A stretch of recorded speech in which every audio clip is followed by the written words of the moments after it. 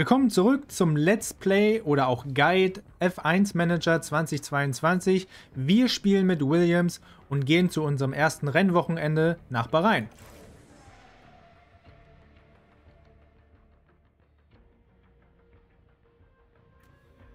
Willkommen auf dem F1 Archipel. Bahrain mag vielleicht klein sein, aber auf den Tribünen herrscht gerade riesige Stimmung. So oder so, es ist Zeit für ein weiteres fantastisches Grand Prix Rennwochenende. Der Bahrain International Circuit ist eine anspruchsvolle Strecke. In den engen Kurven müssen die Autos weit runterschalten. Da bergab gebremst werden muss, könnten die Räder blockieren. Dieses Risiko müssen die Fahrer in den Griff bekommen. Konzentration und Balance sind hier für den Sieg nötig. So früh in der Saison gibt es noch viele Möglichkeiten, die Dinge zu ändern. In diesem Sport gibt es einfach keine Garantien. Bleiben Sie dran, denn wir fangen gerade erst an. So, in der Einleitung kriegen wir immer ein paar Informationen. Finde ich nicht so nützlich. Ich überspringe das mittlerweile meistens. Und wir sind beim Training angekommen. Wie gesagt, wenn ihr mit Tutorial spielt, dann müsst ihr dieses simulieren. Ja, äh, ihr kriegt hier noch ein paar Berichte, wenn ihr euch die anschauen müsst. Ihr kennt das von der, ähm, von der Rennstreckenübersicht. Ne? Könnt ihr euch alles anschauen. Wo sind die DRS-Zonen etc. Gehe ich jetzt nicht so stark drauf ein. Könnt ihr euch alles natürlich in Ruhe angucken. Äh, genauso Reifenmischung, wie da so die Rundenzeiten sind etc. Finde ich jetzt gerade nicht so wichtig. Bei den Sponsoren findet ihr nochmal eure Ziele, die ihr euch gesetzt habt oder die die Sponsoren euch setzen. Ansonsten ist das nicht so wichtig. Ganz wichtig, vielleicht immer so aufs Wetter achten. Ne?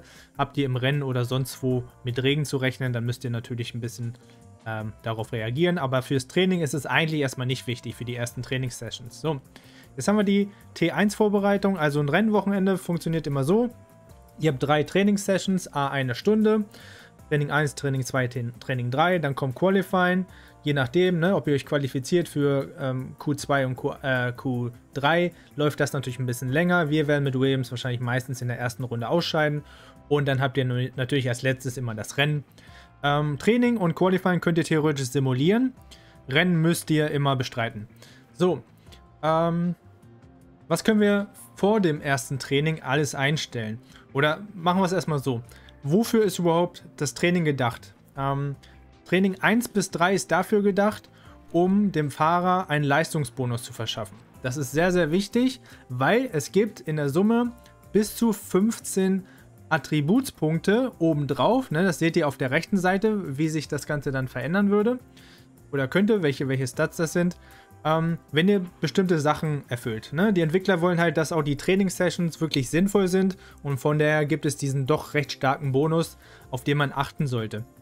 Ganz kurz, wenn ihr das Ganze simuliert, die Trainingssessions, ihr spart damit pro Rennwochenende, würde ich sagen, Minimum 30, 35 Minuten ein, wenn ihr nur Qualifying und Rennen macht. Ihr müsst dann aber auch damit rechnen, dass eure Fahrer, wie gesagt, weniger Attributspunkte haben und möglicherweise auch mit ihrem Setup-Vertrauen überhaupt nicht äh, zufrieden sind, vielleicht maximal so 40, 50, 60 Prozent haben von 100 ähm, und dementsprechend, wenn ihr Pech habt, auch äh, deswegen vielleicht ein bisschen unsicherer sind mit ihrem Auto und dementsprechend vielleicht auch ein paar mehr Unfälle äh, passieren können. So, es gibt drei Sachen, die diesen Leistungsbonus bestimmen. Wie gesagt, ihr könnt bis zu 15 Punkte bekommen. Ähm, bei der Streckeneingewöhnung seht ihr auf der rechten Seite, könnt ihr die ersten drei Punkte bekommen. Dafür muss die Streckeneingewöhnung auf 100% steigen. Ähm, das tut sie ganz einfach dadurch, dass ihr in den Trainingssessions möglichst viel mit dem Auto auf der Strecke seid. Ganz einfach, ja. Je länger ihr draußen seid und ähm, mit eurem Auto äh, auf der Strecke fährt, fahrt, ähm, desto mehr ähm, ja, Streckeneingewöhnung bekommt der Fahrer, bis ihr eben irgendwann 100% erreicht. Hier muss man nur eine Sache, eine Sache beachten. Ähm, wenn ihr zum Beispiel in einer Trainingssessions äh, in einer Trainingssession 40 Runden fahrt, dann macht es einen Unterschied für die Streckeneingewöhnung, ob ihr 2x20 fahrt, also ihr fahrt 20 Runden, fahrt dann in die Box und fahrt nochmal 20 Runden, oder ihr nehmt einen harten Reifen zum Beispiel und fahrt direkt am Stück 40 Runden. Dann mit diesen 40 Runden am Stück habt ihr mehr Streckeneingewöhnung, als wenn ihr 2x20 fahrt, obwohl ihr die gleiche Anzahl an Runden fahrt. Das liegt einfach daran, dass die Streckeneingewöhnung eben ähm, schneller ansteigt, ähm, je länger ihr am Stück draußen seid auf der Strecke. Das ist ganz wichtig zu wissen, äh, dass man sich da nicht wundert, warum das unterschiedlich ansteigt. Autoteilekenntnis ist viel, ich sag mal, simpler. Da könnt ihr auch nochmal drei Punkte abgreifen. Am Anfang der Saison kennt ihr euer Auto noch gar nicht. Das heißt, Ähm, da dauert es ein bisschen, bis sich der Fahrer, ich sag mal, mit den ganzen Autoteilen ähm, äh, sich damit wohlfühlt.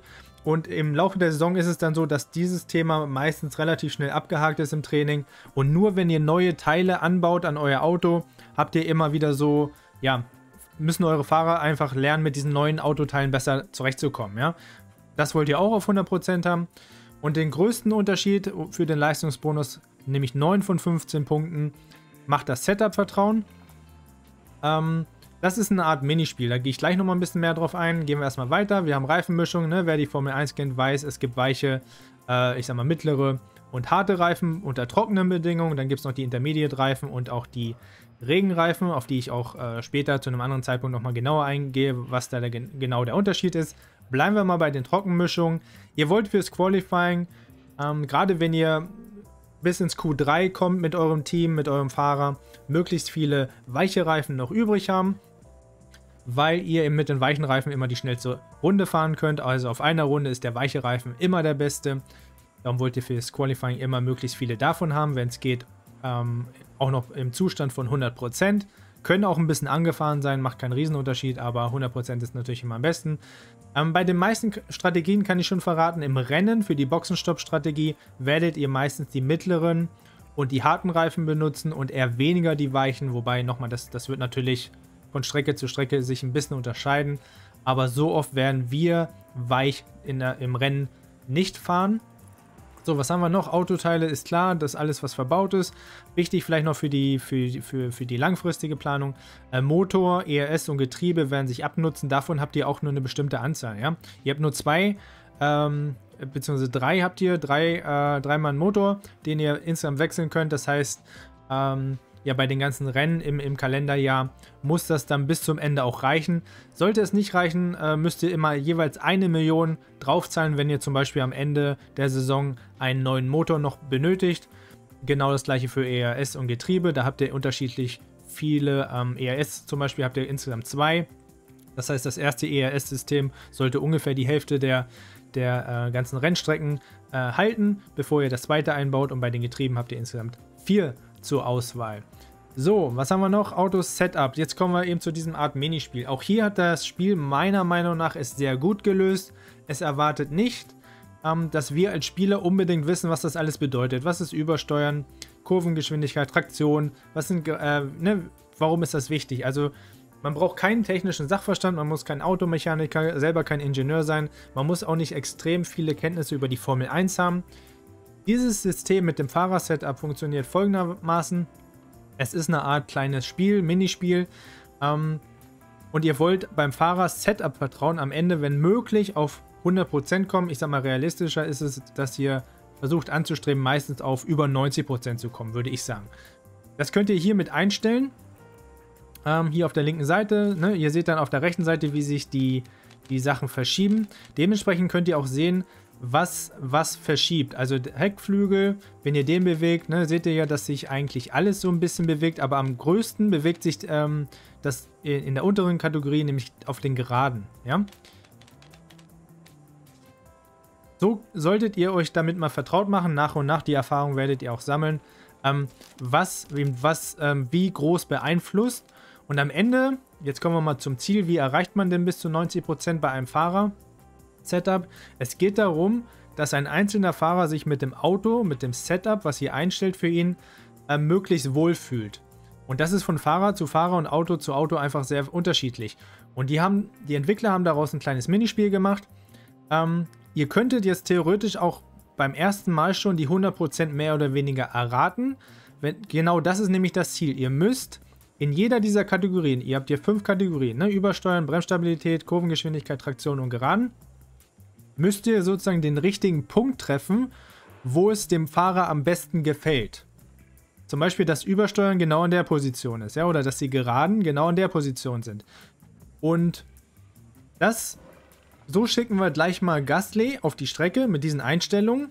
Und wenn er dann genug Erfahrung mit dem Auto gesammelt hat, mit dem Setup, wird er uns äh, Feedback geben und sagen, das war jetzt, je nach Kategorie wird er uns sagen, das war vielleicht gut, das war schon optimal, also perfekt, sag ich mal, ja. Oder in einer anderen Kategorie, das war richtig schlecht. Bremsstabilität hat ihm vielleicht dann gar nicht gefallen. Ne? Wir werden es gleich sehen an einem Beispiel. Ich gehe das nur schon mal einmal mit euch durch. Und dann könnt ihr wieder eben hier die Sachen verschieben. Sagen wir mal, bei Übersteuern war es schlecht, dann wäre es sinnvoll, vielleicht beim Frontflügel nochmal was zu ändern, ja? Aber man muss dann auch die anderen Sachen wieder be beachten. Also das ist so eine kleine Fummelei, da kann man sich reinarbeiten und ich würde sagen, also ich habe ungefähr, weiß nicht, vielleicht fünf, sechs Mal gebraucht, um da einfach ein gutes Gespür zu, für, zu bekommen, dass ich meistens auf über 90% äh, Setup-Vertrauen komme. Aber wir sehen uns das gleich mal in der Realität an, wie es dann richtig funktioniert. So, Laufplan, hier stelle ich meistens am Anfang in Training 1 mit Re äh, weichen Reifen so auf 18 Runden. Das reicht meistens, dass Fahrer es schaffen, eben ähm, das Setup zu bewerten, ihm Feedback zu geben. Wir werden es gleich sehen. Fahreroptionen, da gehe ich dann gleich in, den, in der Trainingssession nochmal ein bisschen mehr drauf ein.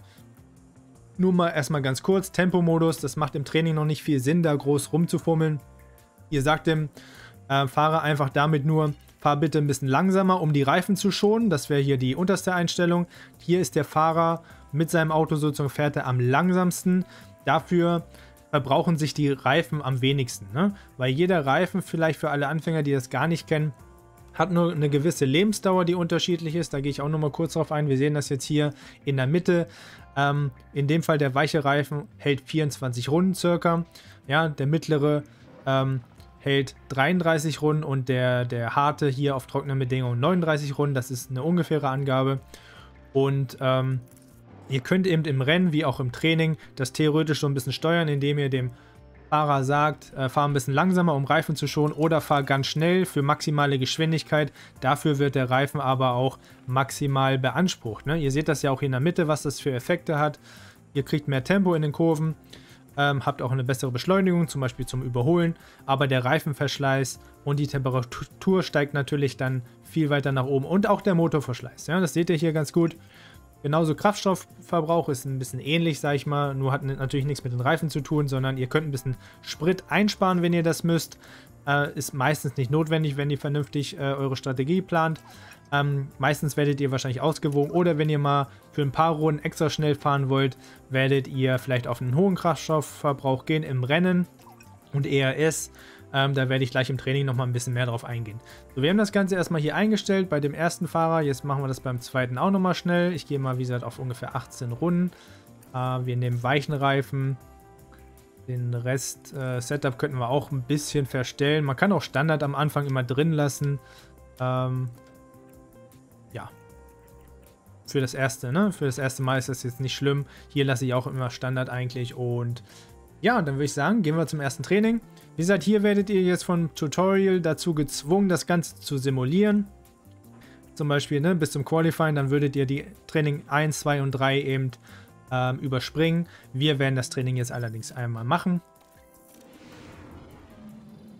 So, jetzt sind wir im Training und ganz wichtig, wir lassen unsere Fahrer direkt raus. Wir haben ja vorher schon alles eingestellt. Ich überspringe das hier mal, die Animation und den zweiten gleich hinterher, weil nochmal in den Trainingssessions ist es am wichtigsten, möglichst viel Zeit auf der Strecke zu verbringen und das Fahrersetup so einzustellen, dass die Fahrer möglichst zufrieden sind mit 100% oder ich sag mal 90 bis 100%. Und ja, dann sind wir jetzt auch zum ersten Mal im Spiel. Dann gehen wir vielleicht mal kurz auf die ja, Menüführung oder auf das Interface, was wir hier haben, ein. Wir sehen links eben immer die, ähm, ja, die ganzen Fahrer, ne, die es gibt. Nicht nur die, die auf der Strecke sind. Wir haben unsere hier mit Gasly. Wenn ihr draufklickt, ne, ne, schaltet äh, die Kamera auch immer dahin, Albon. Und im Moment ist noch kein anderer draußen, aber ihr würdet genauso jetzt umschalten können zu anderen Fahrern. Wenn Russell zum Beispiel auf der Strecke ist, würdet ihr ihn jetzt sehen oder Hamilton. Da sie in der Box sind, seht ihr nur die Box natürlich. Bleiben wir mal bei Gasly. Dann habt ihr hier unterschiedliche äh, Kameraansichten. Das ist jetzt die ähm, ja, Außenansicht, so ähnlich wie man es vielleicht aus dem Fernsehen kennt, ja, wo immer von Kamera zu Kamera weitergeschaltet wird, wie es eben äh, dem Streckenverlauf, ähm, zu dem Streckenverlauf passt. Ihr könnt jetzt aber auch umschalten, zum Beispiel links, dann seid ihr hier, ne, auf so einer, ja, am Flügel, am, am Frontflügel oder hier so, so eine seitliche, äh, hinterm Cockpit, die Kamera, ähm, die Rückansicht und eben in der Kameraposition bin ich sehr oft in der Cockpit-Ansicht. So könnt ihr eben ne, auch hin und her schalten und immer schön gucken, was eure Fahrer da machen. Äh, ich bin eigentlich, wie gesagt, meistens in dieser Ansicht oder in der totalen, also in dieser Ansicht, aber meistens in der. Ihr könnt aber auch auf die Streckenkarte wechseln. Das ist vielleicht für einen Manager meistens sogar am besten, auch wenn es natürlich das Spiel äh, in der Cockpit-Ansicht zum Beispiel besser aussieht auf der Strecke direkt. Aber hier habt ihr immer einen super ne, Überblick über die ganze Karte, gerade im Rennen. Seht sofort, wo alle wichtigen Fahrer, eure Konkurrenten sich befinden ähm, und könnt dann eben dementsprechend äh, eure Entscheidungen treffen. Dann haben wir hier noch ähm, ja, die Pause-Funktion. Ihr könnt auch in der Pause-Funktion alles Mögliche machen, ja, ähm, in diesem Spiel. Also gerade für Anfänger eine super Hilfe, gerade im Rennen, in, in, in, in stressigen Situationen, auch im Qualifying vielleicht, könnt ihr jederzeit das Spiel einfach mal pausieren und euch erstmal Gedanken machen. Und ihr könnt die Spielgeschwindigkeit hoch und runter stellen, einfach, zweifach, vierfach, äh, achtfach und 16-fach. Wobei es so ist, wenn ihr auf der Strecke sein wollt, gehen wir mal auf, bei Gasly, zu Gasly hin, ähm, ist maximal doppelte Geschwindigkeit möglich. Geht ihr auf vierfache Geschwindigkeit, wechselt er automatisch äh, auf diese Kartenansicht. Und wie gesagt, bis zu 16 Mal. Und ähm, ja, wenn ihr im Training geübt seid, ihr lasst ihr eure Fahrer einfach nur fahren, dann seid ihr meistens auf 16-facher Geschwindigkeit, um einfach nur das Training schnell hinter euch zu bringen. Weil super spannend ist es leider nicht. Es erfüllt seinen Zweck, aber mehr auch nicht. Ja, wir sehen jetzt auch mal hier, äh, Autoteile-Kenntnis geht hoch, 4%, 4%. Ne, ihr habt das Interface immer, kommen wir jetzt mal vielleicht auf die Fahrer oder gehen wir vielleicht nochmal ganz kurz nach oben rechts. Ihr habt ja nochmal ein paar Menüpunkte, äh, sind später mal wichtig, werde ich später mal drauf eingehen. Hier seht ihr so ein paar Grunddaten, da gucke ich gar nicht so sehr drauf. Ähm, klar, wenn es anfängt zu regnen, ist diese Millimeteranzeige noch sehr wichtig. Zum Beispiel auch bei der Entscheidung, ob ihr Intermediates nutzt oder Regenreifen. Da gehe ich später nochmal drauf ein. Ansonsten seht ihr den Grip auf der Strecke fürs Qualifying. Auf jeden Fall auch sehr wichtig, dass ihr möglichst zu sehr guten Bedingungen, also wenn der Grip sehr hoch ist, wenn möglich, auf der Strecke erst rausgeht, ähm, um einen ja, möglichst guten Grip zu haben. Was einfach bedeutet, das ist die Bodenhaftung, ja, also die, die, die Bindung sozusagen von Reifen zur Strecke. Je höher der Grip, desto besser eigentlich in der Formel 1 und auch, ähm, ja, auch für andere Autorennserien. Ähm, dann könnt ihr möglichst gute und schnelle Runden fahren. So, machen wir weiter mit dem Interface. Ähm, ihr seht links und rechts für eure Fahrer, Fahrer 1 und 2, seht ihr, seht, seht ihr so den eigenen Bereich. Ja? Links haben wir Fahrer 1, in dem Fall Gasly. Und dann sehen wir eben das, was wir eben äh, vor dem Training schon einstellen konnten. Das ist eben das, ähm, wie schnell soll der Fahrer fahren. Ähm, und es geht hier um den Reifenverschleiß in erster Linie, ja. Das ist das, was wir da auch gesehen haben. Ne? Aggressiv bedeutet zum Beispiel auf eine Runde sehr schnell fahren im Qualifying, auf jeden Fall auf Angreifen stellen. Maximale, hier seht ihr die Stoppuhr, Rundenzeit, das heißt, äh, die Rundenzeit wird ja, verbessert. Der Fahrer soll einfach alles geben. Ich kann euch aber auch schon sagen, das erhöht auch die Wahrscheinlichkeit, dass man Dreher passiert, Unfälle passieren etc. Ja? Ähm, maximale Geschwindigkeit, dafür baut der Reifen aber auch am meisten ab, wenn ihr ne, durchgehend auf Angreifen stellt zum Beispiel. Das hatte ich ja eben schon mal erklärt vor dem Training. Also hier im linken Bereich geht es eher um den Reifen. In der Mitte geht es um den Kraftstoffverbrauch, hatte ich auch schon erklärt. Auf Sparen solltet ihr nur ganz selten äh, stellen, zum Beispiel während einer Safety-Car-Phase. Ansonsten würde ich davon die Finger weglassen. Es kostet euch einfach zu viel Zeit. Ansonsten macht es nur Sinn, wenn ihr unbedingt Kraftstoff äh, sparen müsst am Ende des Rennens, weil ihr, keine Ahnung, weil ihr euch verzockt habt. Ihr habt davor zu lange auf äh, Macht Druck gemacht, äh, gestellt habt seit zu lange, habt äh, zu lange zu viel Kraftstoff verbraucht und habt dann am Ende des Rennens zu wenig. Ne? Weil wenn euch der Kraftstoff natürlich ausgeht, bleibt ihr stehen am Ende des Rennens und dann habt ihr Pech gehabt, dann macht äh, Sparen vielleicht auch nochmal Sinn, aber ihr solltet gar nicht erst in die Situation kommen. Auch hier, wenn ihr Druck macht, mal für ein paar Runden im Rennen, kann das Sinn machen, ähm, wenn ihr genug Kraftstoff dafür habt. Ihr seht hier immer so ein Delta. Das heißt, ne, für das, was jetzt geplant ist, bei uns sind ja 18 Runden geplant, jetzt draußen zu bleiben im Training ähm, haben wir im Moment noch ein Plus von 1,2 Runden. Also wir haben immer noch so viel Kraftstoff drin, dass wir theoretisch sogar über eine Runde länger draußen bleiben könnten. Das heißt, wir könnten jetzt ein paar Runden mit, äh, ja, mit höchstem Kraftstoffverbrauch fahren, ohne dass das jetzt äh, ja, Probleme bei uns verursacht. Ja? Wenn das hier Richtung 0 geht, sollte man vorsichtig sein. Ähm, außerdem kann ich schon mal verraten, die Delta-Anzeige ist nicht immer perfekt, gerade im Rennen. Äh, sollte man sich nicht zu 100% drauf verlassen. So, was haben wir hier auf der rechten Seite? Jetzt haben wir hier das ERS-System. Ich werde das, denke ich, äh, jetzt erstmal grob beschreiben. Vielleicht zu einer, in einer späteren Folge nochmal ein bisschen intensiver. Ähm, die das ERS-System ist eine Art Batterie, die im Auto verbaut ist. Ja, das sollte man auf jeden Fall wissen, weil ich finde, also, ne, man merkt vielleicht schon, alle drei Möglichkeiten geben einem die Möglichkeit, als Manager seinem Fahrer zu sagen, fahr doch bitte schneller auf, auf Kosten von irgendwas. Ja, fahr schneller auf Kosten des Reifenverschleiß. Fahr schneller auf Kosten ähm, des Kraftstoffverbrauchs. Und hier ist es eben so, das, ist, das hat den stärksten Effekt auf die Rundenzeit, kann ich schon mal verraten, das ERS-System. Und das ERS-System äh, funktioniert folgendermaßen. Ähm, es ist eine Batterie, die im Auto verbau verbaut ist, um ähm, beim Anbremsen in bestimmten, ähm, bei bestimmten Streckenteilen lädt sich diese Batterie auf, ja, durch das Bremsen. Dadurch bekommt es eben diese Energie bis zu 100% logischerweise. Ähm, und jetzt gibt es hier mehrere Einstellungsmöglichkeiten. Energierückgewinnung bedeutet zum Beispiel, wenn ihr ziemlich niedrig seid, vielleicht auf 0%, könnt ihr dem Fahrer jetzt sagen, er soll nur sparen. Das heißt, ähm, die Energie, die in dieser Batterie gespeichert wird, soll nur immer weiter aufgeladen werden, bis sie eben auf 100% ist, ne, sagt uns jetzt auch der Renningenieur. So, die folgenden äh, Einstellungen verbrauchen dann auch immer einen Teil. Wenn ihr sagt, stell auf neutral, dann ist es so, dass er versucht, der Fahrer innerhalb einer Runde das gleiche Niveau zu halten. Das heißt, wenn er zum Beispiel bei 94% ist, wenn ihr ihm sagt, stell auf neutral, versucht er in einer Runde wieder 94% zu haben. Das heißt, er verbraucht auf einer Runde das, was er auch aufgeladen hat. Vielleicht sollte ich auch erstmal einmal erklären, was passiert eigentlich, wenn er es einsetzt. Da kommen wir jetzt nämlich zum nächsten Punkt. Wenn wir auf Einsetzen gehen, ihr seht das hier auch immer mit der Stoppuhr, positiver Effekt auf die Rundenzeit, sehr hoch. Jetzt benutzt der Fahrer die Energie, die in dieser Batterie gespeichert ist, um beim Herausbeschleunigen aus allen Kurven nochmal extra PS zu gewinnen durch diese Energie, ähm, um so schneller herauszubeschleunigen und so seine Rundenzeit zu verbessern. Das ist auch sehr ähm, wertvoll zum Überholen zum Beispiel, ja. Aber bleiben wir hier erstmal beim Einsetzen. Das nutzt man zum Beispiel dann auch in der einen Qualifying-Runde. Ähm, hier nutzt der Fahrer es eben so, dass er es nur verbraucht. Also er, er, er baut keine Energie mehr auf und spart sie an, sondern er setzt auf einer Runde oder auf mehreren Runden, ne, setzt er die Energie so ein, wie es für die Rundenzeit äh, am besten wäre. Bis das Ganze vielleicht nach ein paar Runden auf Null geht, dann muss man wieder auf Energierückgewinnung stellen, damit sich das Ganze wieder aufladen kann.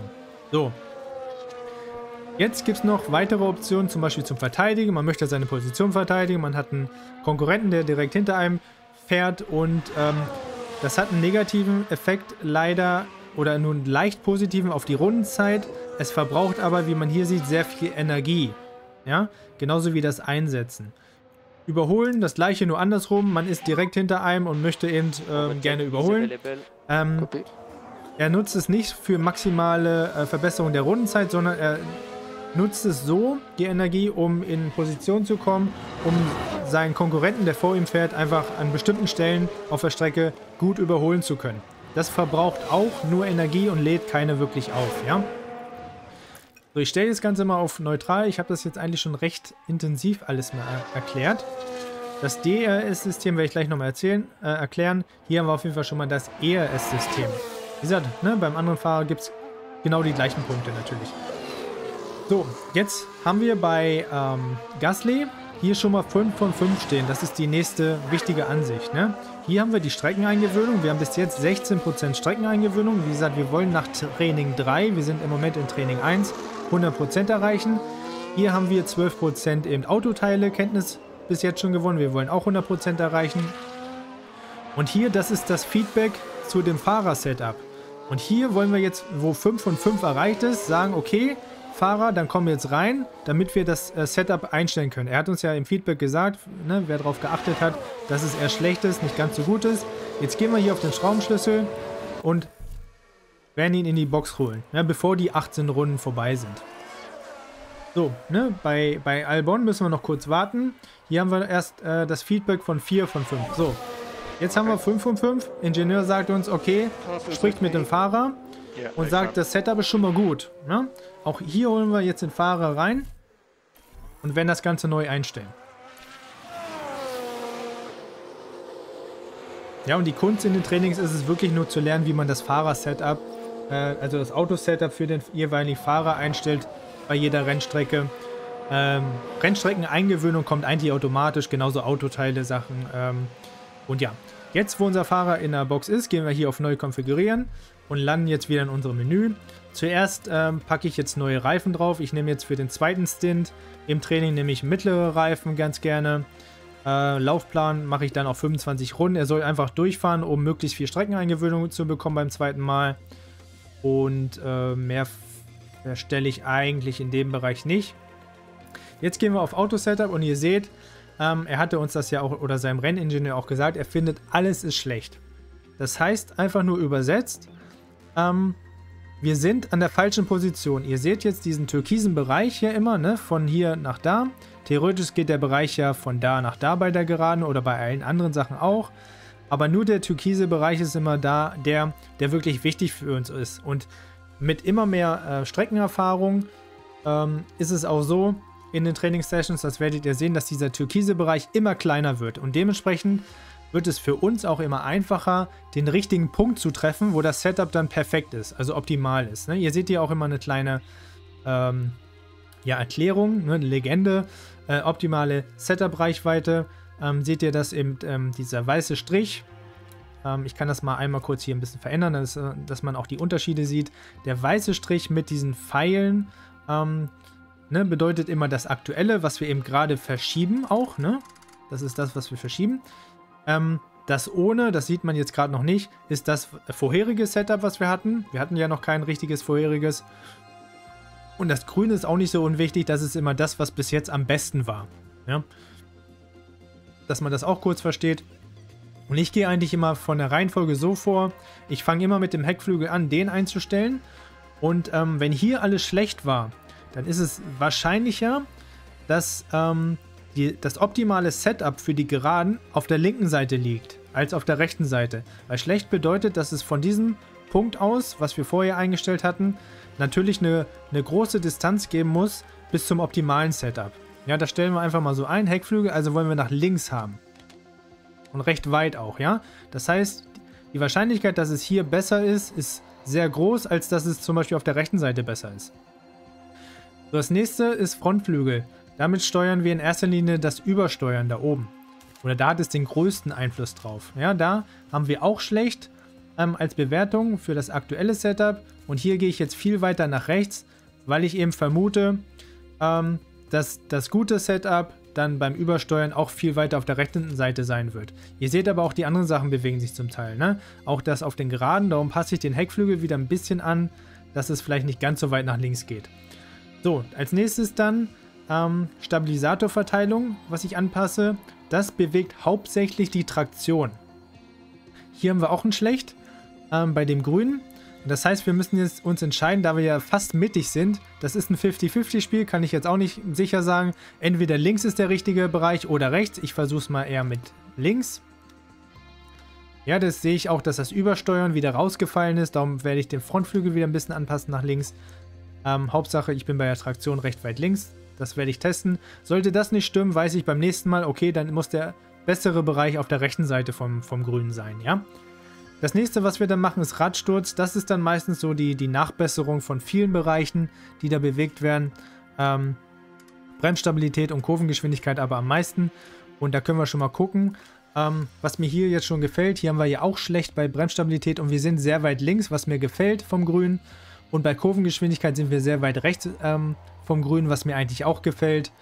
Ähm, kann nochmal gucken, vielleicht nochmal ein bisschen Nachspur, dass in erster Linie die Brems... Ne, machen wir nochmal einen Radsturz, dass wir die Kurvengeschwindigkeit noch ein bisschen weiter links wieder kriegen und dann Nachspur, um die Bremsstabilität ein bisschen nach links zu gehen. Das ist ein bisschen Gamble, ne? Das ist ein bisschen Raten, mehr ist das nicht. Man hat eben nur ein paar Anzeichen, eben aufgrund der Bewertung und dass man eben weiß, okay, bei schlecht muss der Unterschied groß sein. Ne? Wenn da zum Beispiel gut stehen würde, was wir gleich beim anderen Fahrer sehen, ist der Unterschied viel kleiner. Und dann versuchen wir einfach nur zu erraten, wo ist der richtige Punkt. Und wir haben bis zum Ende des dritten Trainings haben wir mehrere Versuche, das richtige Setup zu finden. Ich bin jetzt erstmal zufrieden, wobei bei der Traktion möchte ich nochmal ein bisschen nachjustieren nach links. Jetzt bin ich zufrieden, so will ich den Fahrer jetzt erstmal rausschicken. Ich drücke hier unten rechts auf Bestätigen und ne, jetzt muss das Ganze konfiguriert werden. Also die ganzen Ingenieure machen die ganzen neuen Einstellungen. Das dauert eine Zeit. Ähm, Betankung muss wieder gemacht werden und auch äh, die neuen Reifen müssen ähm, angelegt werden, sag ich mal, an den, an den Wagen und dann ähm, können wir den Fahrer erst wieder rausschicken und dann wollen wir, dass er uns am Ende des Trainings nochmal Feedback gibt. So, das gleiche machen wir jetzt mit Albon. Ne? Einfach ein bisschen schneller. Ich nehme jetzt hier auch die weichen, äh, die, die mittleren Reifen. Laufplan auch auf 25 Runden einfach stellen. Und dann auf äh, das Setup. Hier sehen wir jetzt mal unterschiedliche Werte. Wir sehen bei Geraden, wie gesagt, das mache ich immer als erstes mit dem Heckflügel, ein schlecht. Die Wahrscheinlichkeit ist größer, dass es nach rechts ausschlägt. Das heißt, ähm, ich packe den weißen jetzt nach rechts und hoffe, dass hier der richtige Bereich ist. Dann kläre ich das Übersteuern mit dem Frontflügel. Hier haben wir ihn gut bekommen. Das kann gut sein, dass das der Abstand ist für gut. Also hier ist gut, wo grün ist. Also ist hier möglicherweise optimal. Könnte aber auch auf der linken Seite sein. Ist jetzt ein Ratespiel. Ist es eher rechts oder auf, auf der linken Seite? Ich werde es jetzt erstmal so testen. Dann das nächste ist Stabil Stabilisatorverteilung für die Traktion. Hier haben wir auch ein Gut. Das heißt, der Abstand von grün zu dann optimal ist auch nicht so groß. Das heißt, hier müssen wir auch wieder raten. Ist es eher links von grün oder rechts von grün? Kann ich nicht sicher sagen. Ähm, ich teste es, glaube ich, hier auch mit links von grün. Erstmal aus. Werde das gleich nochmal ein bisschen anpassen. Vielleicht jetzt schon mal mit dem Frontflügel. Ne, mit dem Heckflügel. So vielleicht. Und dann nochmal ein Frontflügel oben. So ein bisschen nachjustieren. Werden wir einfach mal testen. So, das nächste, was wir uns anschauen, Bremsstabilität und Kurvengeschwindigkeit. Ähm, bei Bremsstabilität ist es auch ne, ein gewisser Abstand zwischen gut und optimal. Da bleibe ich auf der linken Seite und hoffe, das passt. Bei Kurvengeschwindigkeit haben wir jetzt schon großartig, da wo grün ist. Und großartig zur Steigerung. Die höchste Steigerung ist dann nochmal optimal. Das ist eben eine Steigerung vor großartig, denn es gibt schlecht, dann kommt gut, dann kommt äh, großartig und dann kommt optimal. Optimal ist das Beste. Der Abstand ist nur klein. Nach rechts ist unwahrscheinlich, also muss in der Kurvengeschwindigkeit, müssen wir nach links gehen. Ja? Und das hier könnte optimal sein oder ein weniger. Das müssen wir mal schauen. So, jetzt haben sich die anderen Sachen wieder ein bisschen verschoben, also kontrolliere ich das Ganze nochmal. Ähm, bei Geraden bin ich zufrieden mit dem großen Abstand, bei schlecht. Äh, bei Traktion bin ich, äh, sind wir ein bisschen vielleicht zu weit weg, aber wir testen es trotzdem so. Übersteuern ist in Ordnung. Bremsstabilität will ich nochmal ein bisschen nachjustieren. Vielleicht so. Ne? Hier könnte optimal sein oder auf der anderen Seite müssen wir sehen. Werden wir dann beim nächsten Feedback sehen. Und ja, ich bin zufrieden. Ich stelle auf Bestätigen. Auch hier muss das Ganze jetzt erstmal wieder konfiguriert werden. Ich stelle auf 16-fache Geschwindigkeit, damit es schneller geht. Und dann schicken wir unsere Fahrer wieder auf die Strecke.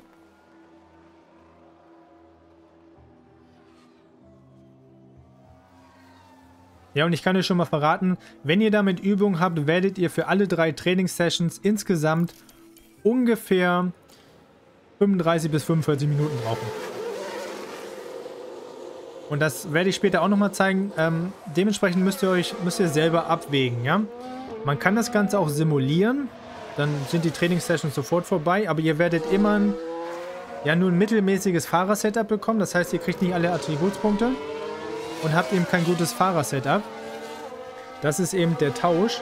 Und ich kann euch schon mal verraten, äh, in der Williams, in der ersten Saison von Williams, da wir eben eh nicht äh, um Punkte oder so mitfahren, wahrscheinlich nur gegen Aston Martin fahren werden, ähm, werde ich bei jedem oder bei vielen Re Rennwochenenden lieber diese 30, 35, 40 Minuten für die Trainingssessions einsparen, indem ich sie eben simuliere, weil ich so viel schneller durch die erste Saison komme weil diesen Leistungsunterschied ähm, oder diese Attribute, die ich bekomme für meine Fahrer, eh irrelevant sind, weil sie ähm, eh nicht viel weiterkommen würden. Also sie würden ja deswegen nicht in die Punkte fahren.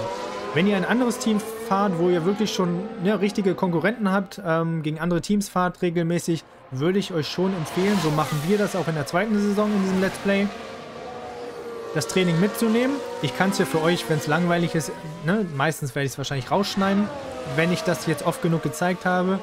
Also ihr werdet es dann wahrscheinlich auch gar nicht oft sehen.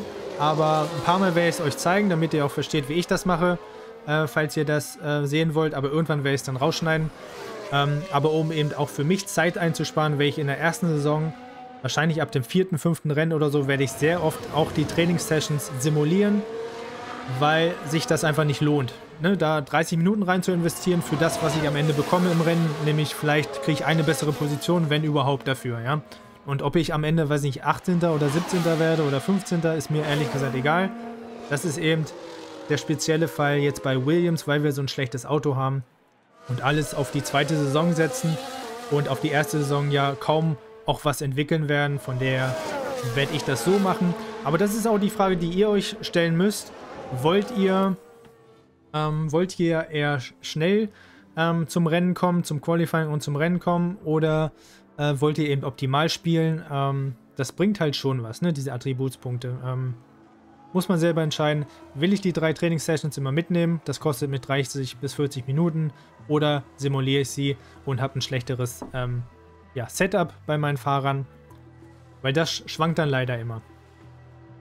Ne, ich hatte schon beim Simulieren hatte ich schon Fahrer-Setups von 40%, was sehr schlecht ist, sag ich mal.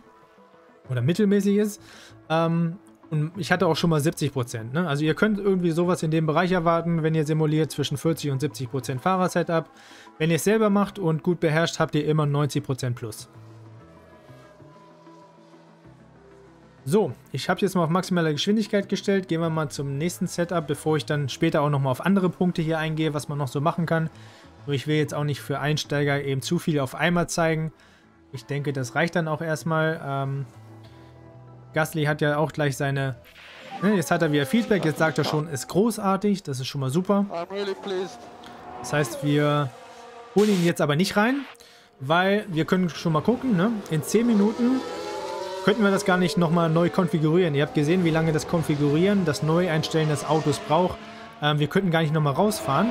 Das heißt, jetzt für die Streckeneingewöhnung, die hier steht, 30% haben wir aktuell, bleiben wir jetzt noch die restliche Zeit draußen, um diese noch weiter nach oben zu bekommen. Ne, das heißt aber auch im Umkehrschluss, so könnt ihr euch das vorstellen, ihr habt immer zwei Möglichkeiten pro Trainingssession euer Setup einzustellen. Immer einmal am Anfang und einmal so nach ungefähr 18 Runden.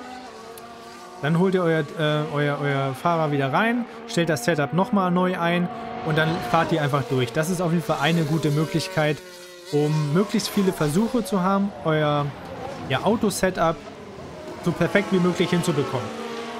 Darum gehe ich weiter auf 16% und äh, wir beenden die Session jetzt einfach. Bei Albon werden wir auch gleich das Feedback bekommen, wie das Ganze eingestellt ist. Werden wir uns mal anschauen. Und dann ist Training 1 auch schon gleich vorbei. Wir haben insgesamt jetzt ein Gut bekommen von ihm. Und gehen weiter auf 16%. Äh, 16-fache Geschwindigkeit, dass wir hier möglichst schnell durch das Training kommen. Und dann werde ich auch äh, im zweiten Training mal zeigen, wie unterschiedlich die Schreckeneingewöhnung hochgeht. Ähm, indem wir eben einen Fahrer, das machen wir mit Albon, gleich, gleich komplett durchfahren lassen. Wir stellen ihn nur das Fahrer-Setup einmal am Anfang ein und lassen ihn dann die komplette Session auf dem harten Reifen durchfahren, während wir Gasly einmal reinholen, ähm, so wie wir es jetzt im ersten Training gemacht haben. So, Session ist vorbei. Es geht überhaupt nicht um Rundenzeiten. Wenn ihr da gute Runden habt, ist schön, aber juckt keinen. Ist komplett irrelevant, was ihr für Rundenzeiten fahrt. Könnt ihr euch natürlich hier dann alles anschauen, was ihr da ähm, ja, gemacht habt. Datenansicht nochmal ein bisschen genauer. Gehe ich jetzt auch noch nicht zu sehr drauf ein. Ihr seht, ähm, ja, ne, die Runden, ihr könnt es vergleichen mit Konkurrenten, äh, gibt ihr viele Möglichkeiten. Äh, Streckenzustand, wie, wie der war, wie viel Grip war auf der Strecke, zu welchem Zeitpunkt, Reifennutzung, ne, was sind so eure Konkurrenten gefahren. Im Training ist das einfach alles nicht so relevant, im Rennen schon eher, um, um sich die Strategie natürlich vor Augen zu führen. Ähm, Events nur ganz kurz überfliegen, ne, was ist so passiert an außergewöhnlichen Sachen, gelben Flaggen und so. Sponsoren, da sind einfach nur eure Ziele wie immer und Bericht kennt ihr ja schon. Ist jetzt nicht so wild im Training. So, jetzt haben wir eben das Ganze und ihr seht schon, Leistungsbonus, jetzt haben wir schon 10 von 15 Punkte bekommen. Durch 44% Streckeneingewöhnung, durch 28% Autoteilekenntnis und 82% Setup-Vertrauen. Und hier seht ihr auch die Daten dazu. Wir gehen weiter zum nächsten Training. Hier haben wir gleich auch wieder die Möglichkeit, wenn wir wollen, das zu simulieren oder eben ähm, zu bestreiten. Hier ist es jetzt eben so, wir sehen nochmal die Daten. Äh, wir können uns vorbereiten. Wie gesagt, mit äh, Gasly werde ich wieder das gleiche machen. Ich werde einmal rot fahren, denke ich, und dann ja wahrscheinlich einmal gelb oder weiß. Im zweiten längeren Stint wieder 18 Runden in etwa und ganz normale Fahreroptionen. Nichts Spezielles. Setup schauen wir uns jetzt an. Ihr seht, ne, die türkise, der türkise Bereich ist enger geworden. Das heißt, da wo der korrekte Punkt ist für ein optimales Setup, wird immer kleiner. Das heißt, es wird für euch auch immer einfacher, diesen Punkt zu finden. So, wir fangen wieder mit den Geraden an. Die werden wir, ähm, oder das werden wir in erster Linie immer mit dem Heckflügel verstellen. Ja, wir hatten schon gut Das heißt, hier könnte auch ein Optimal sein. Vielleicht gehen wir nochmal einen weiter und testen das so aus. Bei allen anderen Optionen hatten wir schon großartig. Das heißt, der grüne ist sozusagen, stellt das Beste dar, was wir bis jetzt hatten. Das waren diese 82%, die wir hier auch nochmal sehen. Ihr könnt übrigens jederzeit auch euer Setup zurücksetzen auf das beste Setup, was ihr jemals hattet. Und das waren bei uns in dem Fall 82%. Gehe ich später nochmal drauf ein. Das heißt, großartig bedeutet für uns, es muss sehr nah am Grünen sein. Ja, entweder nach links oder nach rechts davon. In dem Fall tippe ich mal darauf eher links davon. Bei Bremsstabilität wird es wahrscheinlich eher rechts davon sein. Bei der Kurvengeschwindigkeit eher links davon, weil eben rechts ne, kein türkiser Bereich mehr ist. Bei der Traktion wird es auch rechts davon sein. Ähm, fangen wir mit dem Frontflügel an für das Übersteuern. Ja, versuchen wir das Ganze so einzustellen. Vielleicht so. Hier könnte optimal sein. Ähm, jetzt sind wir auch mit, bei den Geraden wieder ein bisschen rausgeflogen. Ich schiebe das wieder ein bisschen vielleicht zurück, vielleicht so. Ähm, und dann gehe ich wieder mit dem Frontflügel da ein bisschen näher ran. Versuchen wir es mal auf diese Art und Weise für die zwei Sachen. So, Traktion ähm, sind wir nah dran. Wir müssen nach rechts allerdings, also den Stabilisatorverteilung ähm, verschieben. Genau, in etwa so. Ähm, könnten wir dann gleich nochmal ein bisschen anpassen. Jetzt Radsturz anpassen, um eben auch Bremsstabilität und Kurvengeschwindigkeit und auch ein bisschen Traktion noch ähm, anzupassen. Ich gehe bei Traktion nochmal ein bisschen weiter nach links. Kurvengeschwindigkeit, Bremsstabilität sieht gut aus, aber Kurvengeschwindigkeit gefällt mir überhaupt nicht. Gehen wir weiter ran, vielleicht so. Ähm, Traktion passt immer noch, gerade da sich alles immer ein bisschen verstellt, ja, oder oft müsst ihr eben immer einen Blick auch auf alles letztendlich wieder haben und kontrollieren, das ist leider so. Aber hier, ne, großartig, wir sind nah dran am Grünen, gefällt mir, Geraden gefällt mir auch. Ähm, Traktion gefällt mir auch, wir sind rechts davon im türkisen Bereich. Äh, Kurvengeschwindigkeit gefällt mir auch, nur Bremsstabilität ist noch nicht so wirklich gut, das werde ich mit, dem Nach mit der Nachspur nochmal anpassen, nach rechts. Vielleicht in etwa so. Oder vielleicht nochmal den Radsturz ein bisschen so anpassen nach rechts. Genau, und jetzt vielleicht nochmal die Nachspur nach rechts. Und dann gefällt mir das Ganze doch ganz gut, um das so nochmal auszuprobieren. Das gleiche machen wir auch bei Albon. Ähm, genau. Hier werden wir, wie gesagt, jetzt durchfahren. Ich weiß gar nicht, wie viele Runden wir schaffen. Ich, ich setze mal jetzt auf 40 Runden. Ähm, dementsprechend wird auch getankt natürlich. Reifenmischung, wir nehmen den harten Reifen, fahren damit einfach die 40 Runden durch und gehen hier auch auf Setup, haben hier 72. Ihr seht wieder die Anpassung. Ähm, Geraden sind gut, damit fange ich auch wieder an. Heckflügel.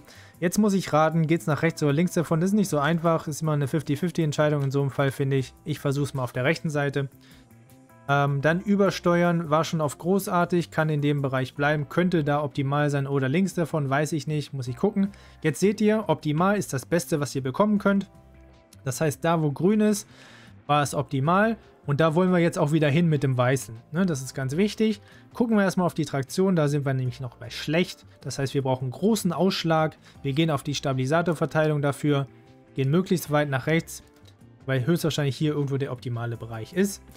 Geraden gefällt mir immer noch mit dem Ausschlag. Ähm, übersteuern könnten wir vielleicht noch ein bisschen anpassen.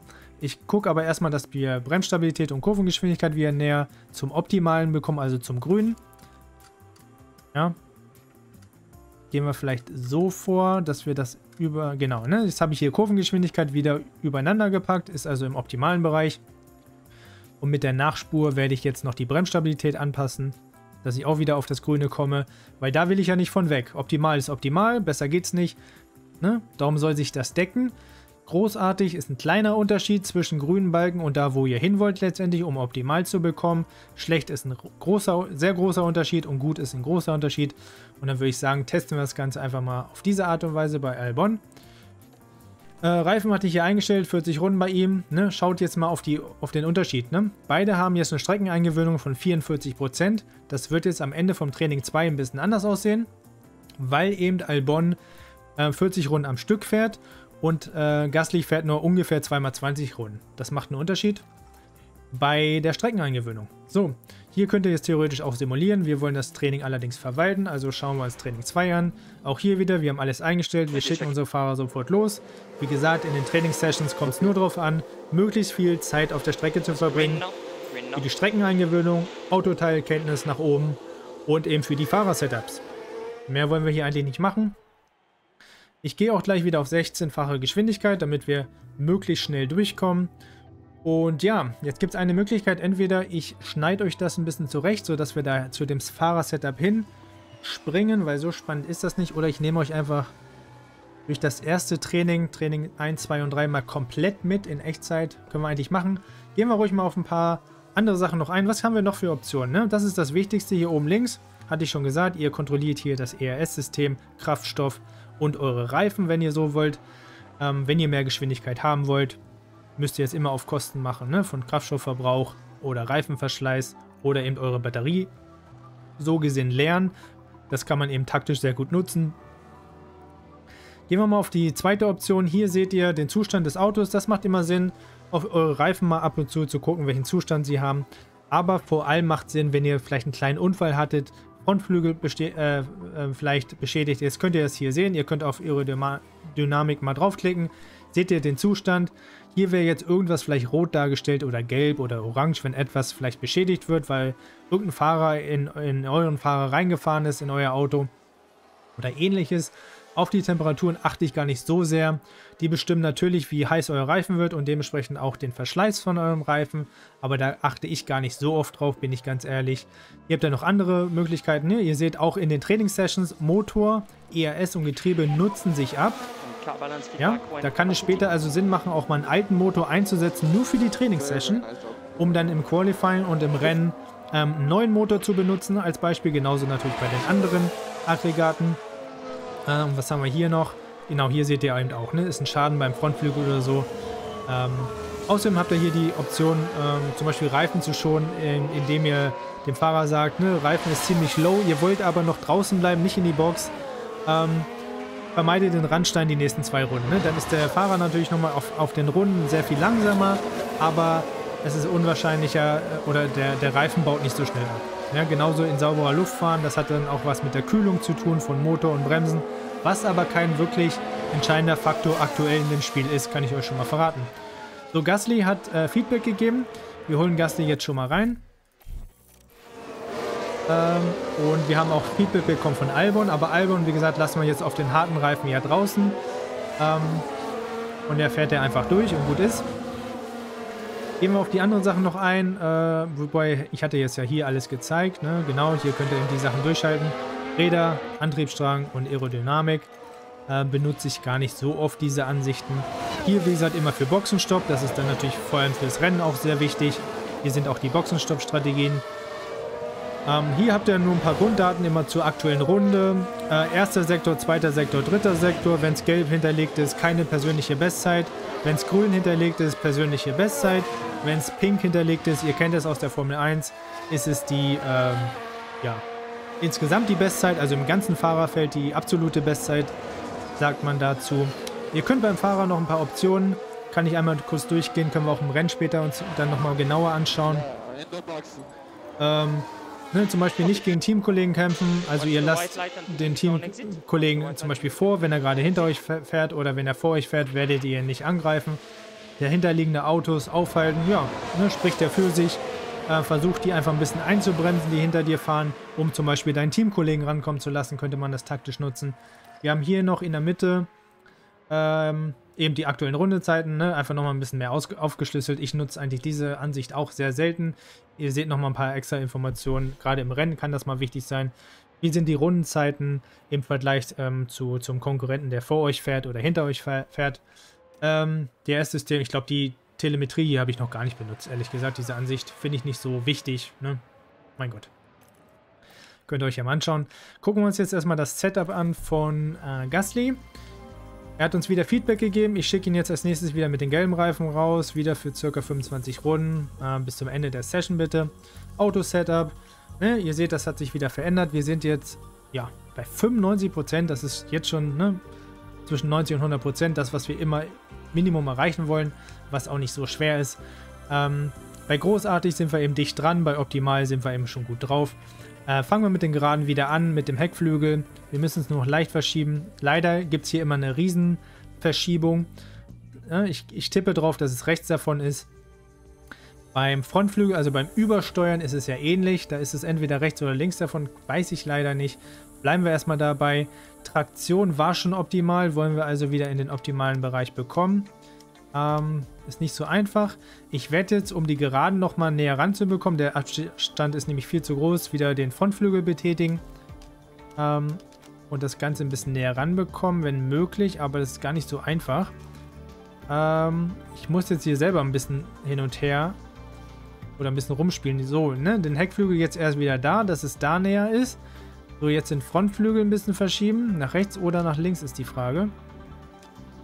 Vielleicht eher nach links. Ja, tippen wir darauf, dass es links davon ist.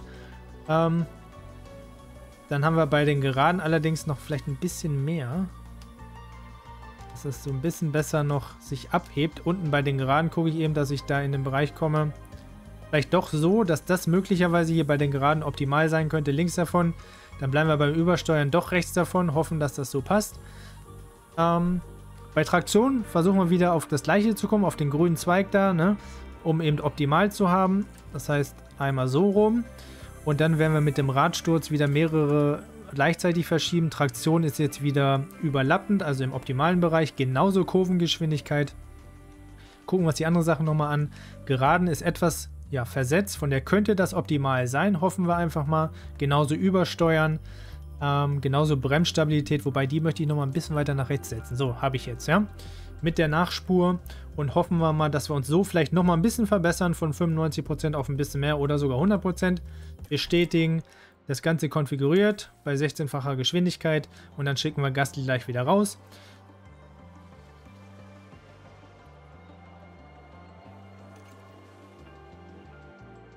Und dann gehe ich gleich nochmal auf ein paar andere, sehr wichtige, auch fürs Rennen wichtige ja, Elemente in dem Interface nochmal ein. So Gastly sofort wieder rausschicken. Hier mal auf doppelte Geschwindigkeit eine Zeit lang. Gucken wir uns mal bei Albon hier einmal an. Wenn ihr jetzt draufklickt, ihr seid wieder in dem Menü mit dem, äh, mit dem Reifen.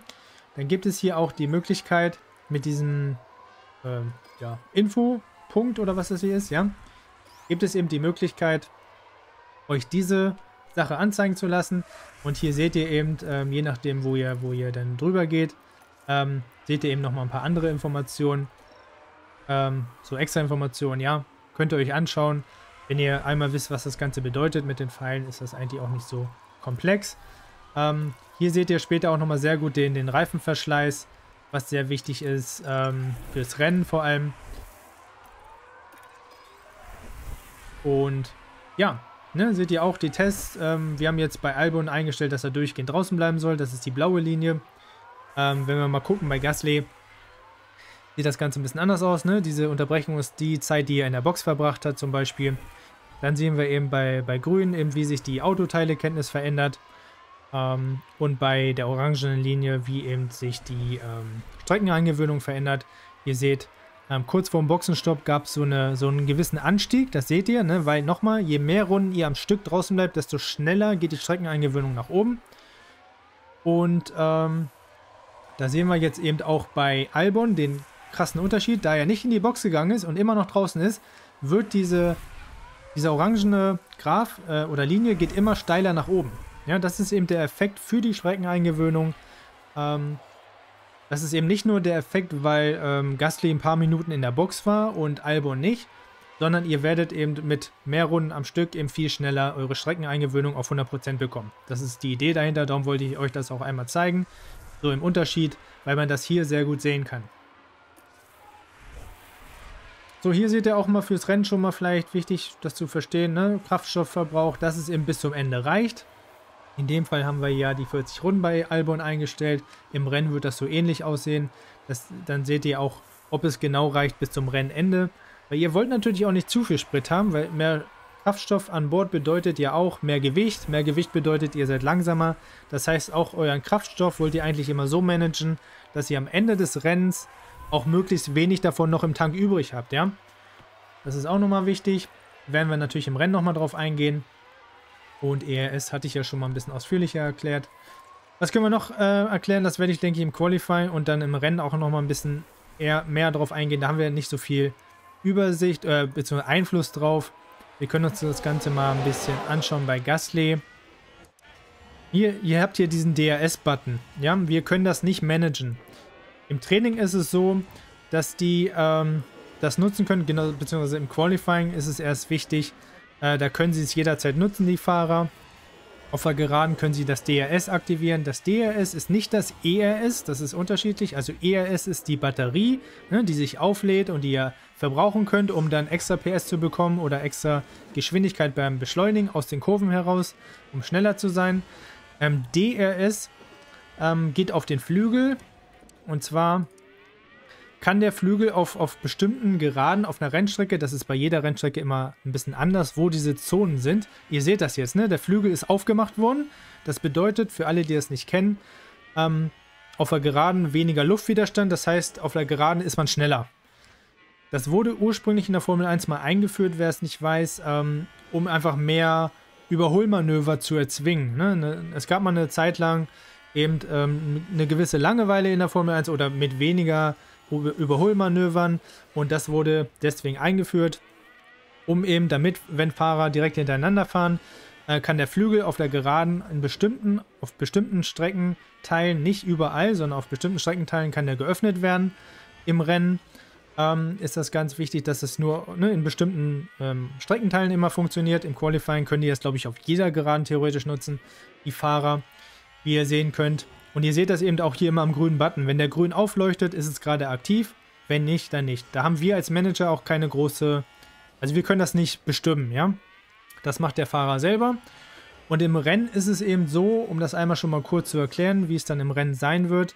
Wenn ihr an bestimmten Punkten, ich werde euch das später auf der Streckenkarte auch nochmal zeigen, ähm, weniger als eine Sekunde Abstand habt, ähm, hinter dem Konkurrenten, der vor euch fährt. Also ihr seid sehr nah ähm, hinter einem Konkurrenten an einem bestimmten Messpunkt, weniger als eine Sekunde hinter ihm, dann könnt ihr auf der, meistens ist sie darauf folgende Gerade, die äh, etwas länger ist, könnt ihr das DRS benutzen. Das wird dann grün, wie gesagt, der Flügel öffnet sich und ihr habt eben einen Geschwindigkeitsvorteil auf der Geraden und könnt dementsprechend den, den Fahrer, der vor euch fährt, viel einfacher überholen.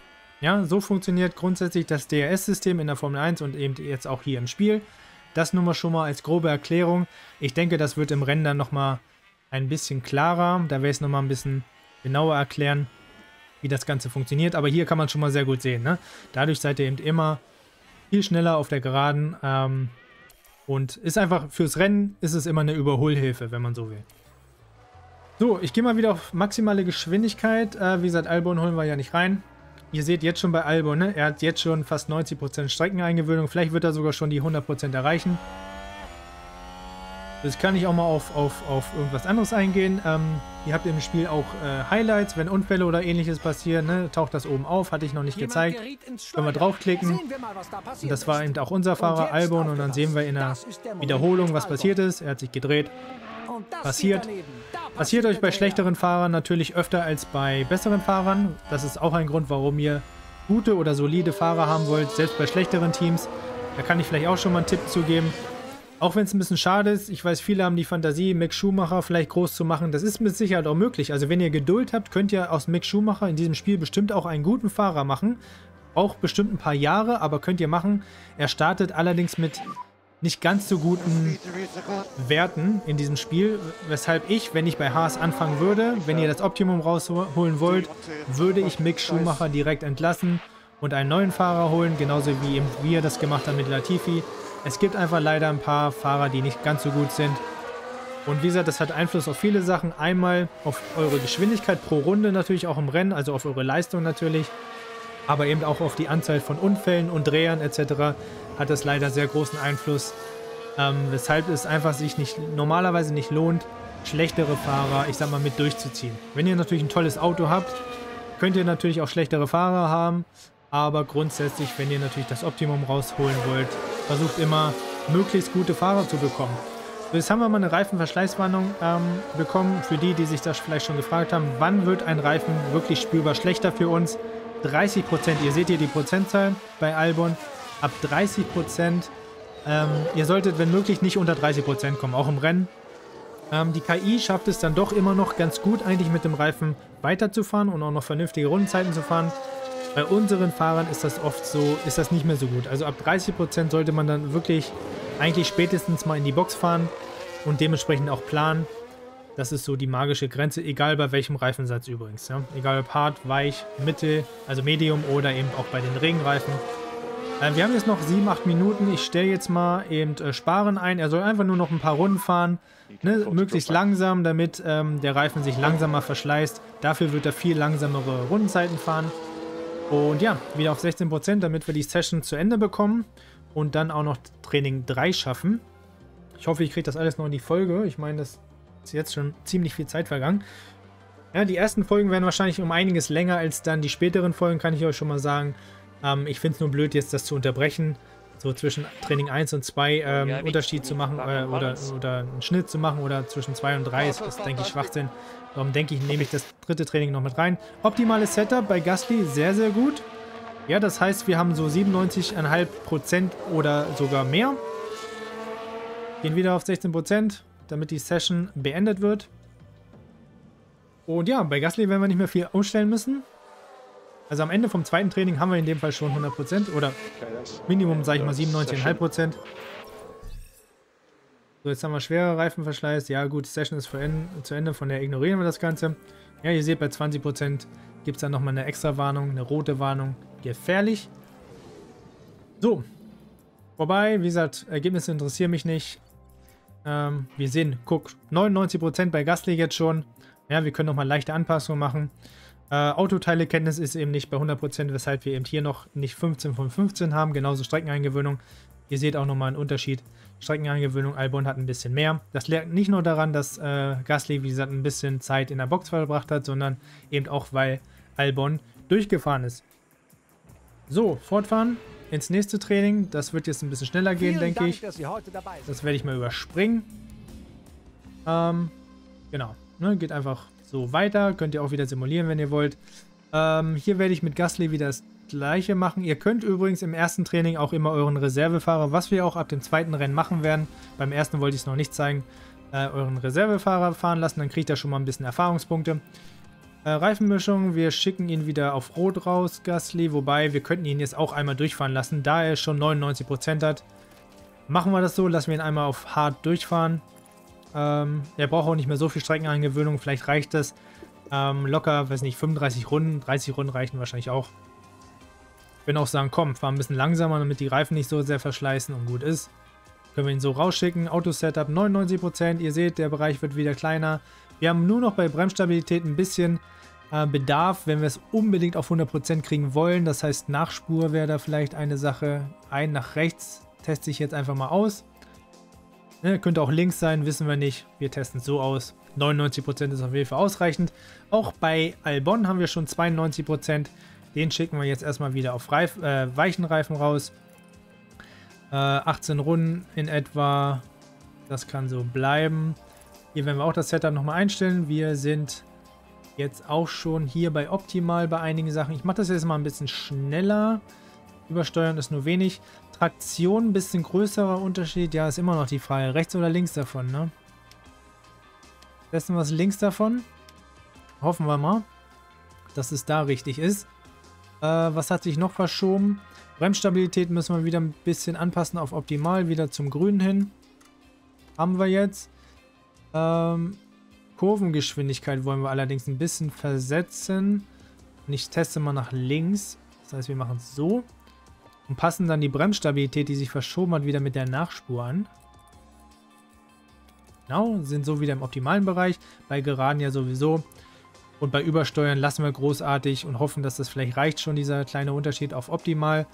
Ansonsten ist großartig auch immer ähm, ja, was Gutes, was man anstreben kann. Ja? Muss man nicht überall unbedingt optimal haben. Ich mache das jetzt mal ein bisschen schneller, damit wir auch mal zu Pötte kommen. Wollen auch das dritte Training verwalten und los geht's. Ja, beide sofort rausschicken.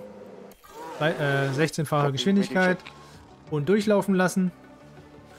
Wie gesagt, das wird dann am Ende in den Trainingssessions auch das machen, wenn ihr Übung damit habt. Das geht relativ schnell in das, was, was ihr macht. Ihr stellt das Setup einmal ein am Anfang, schickt die Fahrer raus, 16-fache Geschwindigkeit, bisschen Feedback geben, holt sie rein, äh, stellt das Fahrer-Setup wieder um, schickt sie wieder raus bis zum Ende der Session und dann macht ihr das bei den anderen Trainingssessions genauso.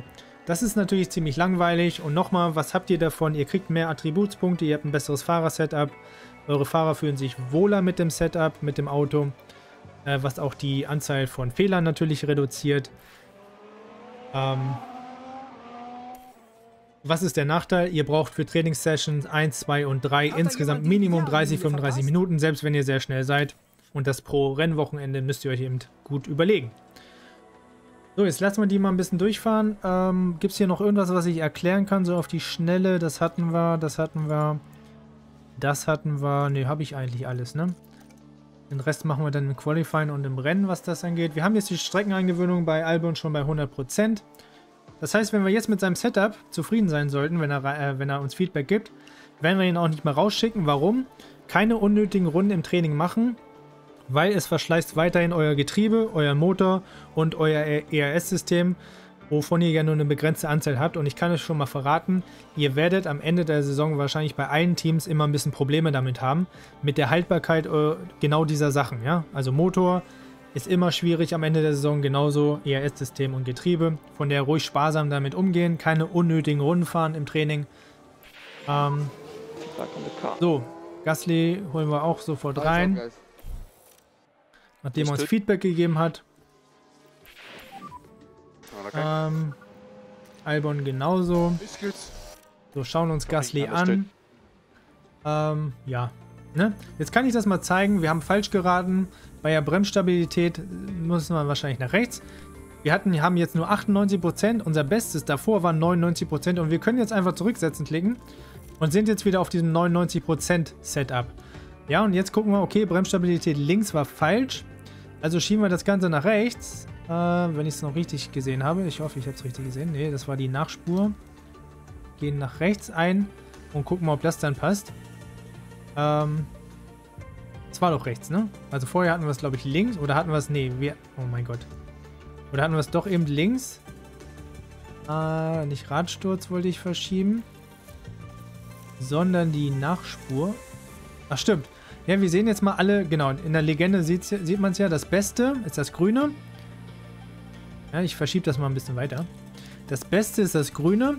Wenn du nur diese Pfeile siehst, von oben und von unten, das ist das, was wir vorher jetzt eingestellt haben. Vor, ne? Und das war ja nach rechts hin falsch. Rechts wurde es nicht besser. Also machen wir es jetzt nach links. Das ist eigentlich das perfekte Beispiel. Jetzt haben wir es links vom Grün und da könnte es optimal sein. Hoffe ich zumindest mal. Ähm, und könnten so... Achso, was habe ich gemacht? Achso, wir müssen natürlich noch Reifen auswählen. Ähm, können wir eigentlich nochmal einen roten nehmen. Wir haben ja auch keine anderen mehr. Und ihn einfach nochmal für nur das Minimum rausschicken. Ähm Ach, wir hatten ihn auf äh, äh, harten Reifen, ne? Dann können wir ihn auch auf hart wieder rausschicken. Eigentlich wollte ich ihn ja durchfahren lassen, aber da wir schon eine hohe Streckeneingewöhnung haben, ist es nicht notwendig. Dann schicken wir ihn jetzt, ähm, weiß nicht, für 25 Runden einfach mal. Wir können ja früher wieder reinholen, um das Setup dann doch nochmal zu testen. Müssen natürlich unten rechts auf Bestätigen klicken. Ähm, so, machen das gleiche jetzt nochmal für Albon.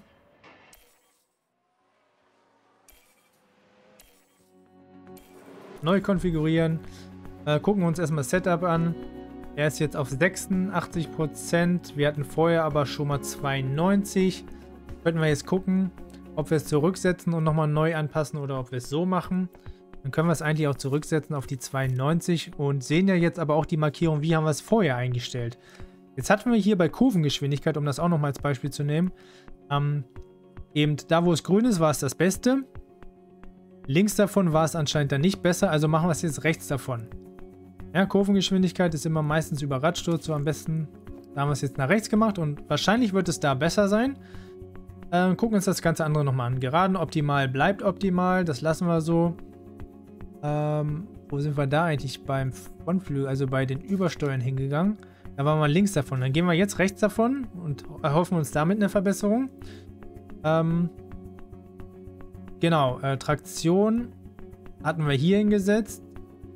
Und war auch nicht viel besser. Also setzen wir Traktion vielleicht dann doch nochmal nach rechts. So, schauen uns jetzt nochmal alles an. Hier unten ist in Ordnung, oben ist in Ordnung. Beim Übersteuern. Äh, Bremsstabilität ist ungefähr wieder 1 zu 1, also bleibt optimal. Das wollen wir auch so haben. Kurvengeschwindigkeit ist immer noch rechts davon. Sollte uns eine Verbesserung bringen. Traktion haben wir richtig, also lassen wir das Ganze so. Äh, und schicken jetzt unseren Albon nochmal raus. Vielleicht nochmal mit einem gelben Reifen. Und schicken ihn auch für, weiß nicht, ruhig nochmal 18 Runden raus, weil er hat ja dann eh schon, hat schon die Streckeneingewöhnung. Also nur noch für das Setup jetzt schicken wir ihn raus. Nicht mehr für die Streckeneingewöhnung. So, höchste Geschwindigkeit. Und dann können wir uns vielleicht gleich nochmal in der Zeit ein paar andere Fenster anschauen. Vielleicht auch nochmal hier. Ihr seht hier immer, macht im Training natürlich mehr Sinn, ähm, das so einzustellen. Was ist der Abstand zum aktuellen Spitzenreiter? Ihr könnt auch umstellen auf, ähm, ja, welche Reifen. Gerade im Rennen am Anfang, am Start mache ich meistens Pause und gucke mir erstmal die Reifen an von der Konkurrenz.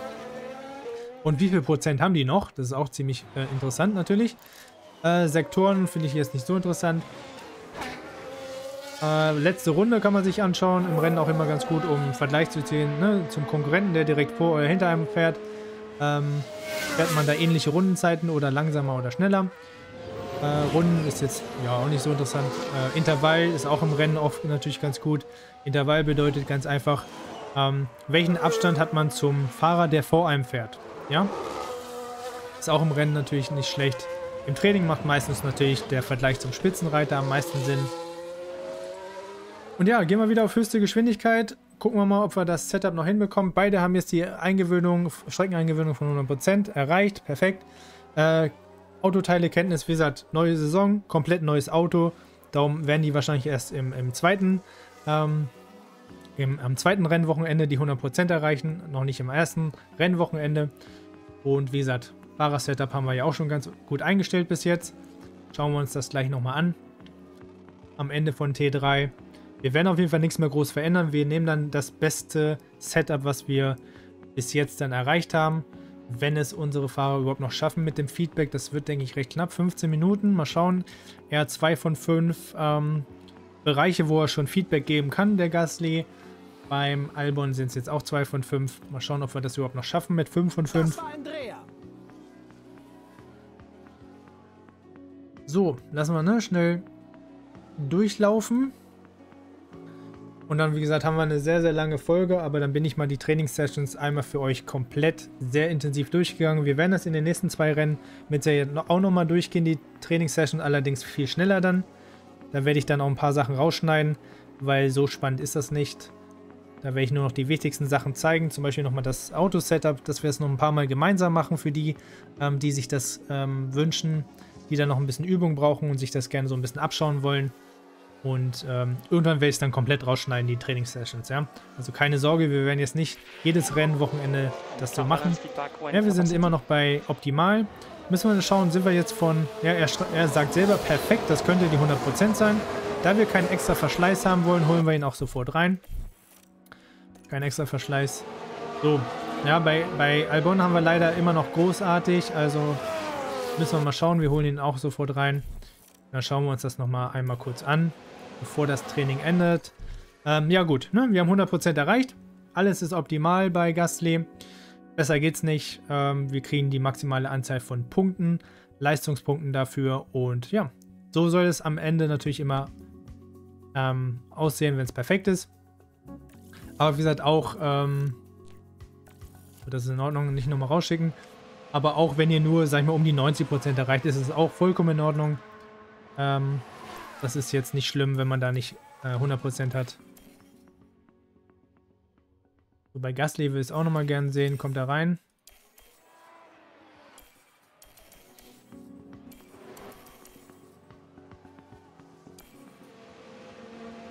Na, da die Session vorbei ist, kann ich es mir jetzt nicht anschauen. Müssen wir jetzt nochmal gucken. Wie gesagt, Ergebnisse sind mir egal im Trainingssession. Ah, wir haben 95% erreicht. Ähm, dementsprechend haben wir bei Albon eben ne, auch nur 14 Attributspunkte Steigerung. Seht ihr jetzt auf der rechten Seite, was das genau beeinflusst. Und bei Gasly haben wir alle 15 bekommen, weil 85% Autoteile-Kenntnis anscheinend schon reicht, um drei Punkte dafür zu bekommen. Ähm, haben wir da eben alle Punkte bekommen und hier, da wir nur ein Setup-Vertrauen von 95% haben, eben 14 von 15, was aber auch schon ziemlich, ziemlich gut ist. Äh, können wir uns das nochmal hier anschauen? Ich glaube, in der nächsten Ansicht erst, ne? Genau, dann gehen wir ruhig schon mal weiter. Äh, die Folge wird allerdings gleich enden. Ähm, hier sind wir jetzt schon in der Vorbereitung fürs Qualifying. Das machen wir dann in der nächsten Folge. Gucken wir uns trotzdem nochmal das Setup einmal an. Ähm, 95%, das ist jetzt auch unser neues äh, bestes Setup. Ihr könntet theoretisch für das Qualifying weiterhin zocken und das versuchen nochmal höher zu kriegen, nochmal rumspielen. Ich mache das normalerweise nicht. Ich lasse es jetzt so, 95% ist vollkommen in Ordnung. Ich bin damit sehr zufrieden.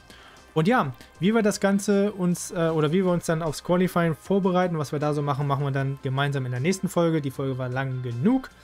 Und ähm, ja, ich bedanke mich fürs Zusehen. Wenn euch das Ganze gefallen hat, wie gesagt, gerne einen Daumen nach hoch, Abo, äh, abonniert meinen Kanal, wenn euch das Ganze gefällt, wenn ihr mehr sehen wollt. Und ja, ich bedanke mich fürs Zusehen und wir sehen uns in der nächsten Folge.